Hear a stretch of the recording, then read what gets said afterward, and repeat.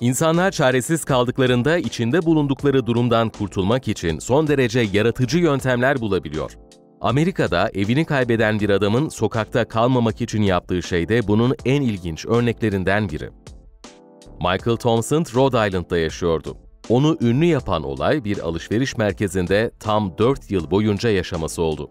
Üstelik bu süre boyunca kimse onun orada yaşadığını bilmiyordu.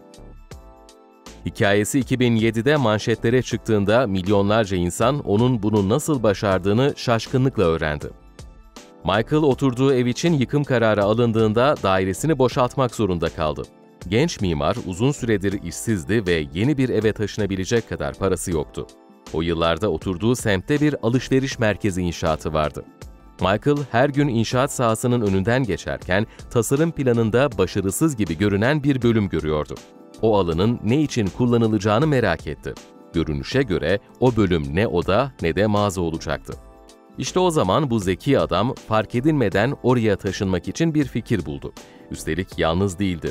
Düşüncesini kendisine yardım etmeleri için birkaç arkadaşıyla paylaştı. Kendilerine Almanca'da yıkıntıların çocukları anlamına gelen Trumerkind adını veren 7 kişilik grup planları üzerinde çalışmaya başladı. Alışveriş merkezinin inşasını izlerken her köşesine çok aşinaydılar. Dolayısıyla yerleşmeyi düşündükleri bölüme girmelerine yardımcı olabilecek bir boşluk olduğunu biliyorlardı. Bölüm sıhhi tesisat veya elektriğe sahip değildi. Ancak bu durum onları planlarını uygulamaya koymaktan vazgeçirmedi. Biraz düşündükten sonra alışveriş merkezinin yakın bir noktasından kablo çekmeye karar verdiler. Battaniyeler, bir televizyon ve bir kanepe getirdiler ve orada kalıcı olarak yaşamaya karar verdiler. Grup odalarını saklamak için bir duvar inşa etti. Yerlerini dünyanın geri kalanından ayırmaya yardımcı olmak için düz beyaz bir yardımcı kapı kurdular. Bu kapı AVM'nin en az kullanılan depo bölümünde olduğundan kimsenin dikkatini çekmiyordu. Akan suları olmadığı için Michael ve arkadaşları gece geç saatlerde sinemanın tuvaletini kullanıyordu.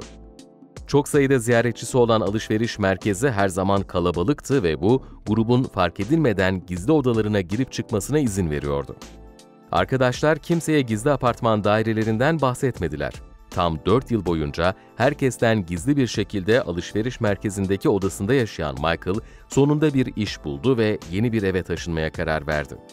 Ancak AVM inşa halindeyken oraya gizlice getirdiği eşyalarını çıkarmak sandığı kadar kolay olmadı. O sırada fark edildiğinde hikayesi gün yüzüne çıktı. AVM yönetimi medyanın çok ilgi gösterdiği bu sıra dışı olay konusunda ondan şikayetçi olmadı. 4 yıl yaşadığı oda değiştirilmeyerek olduğu haliyle kapatıldı. Yeni videolarda görüşmek üzere. Hoşçakalın.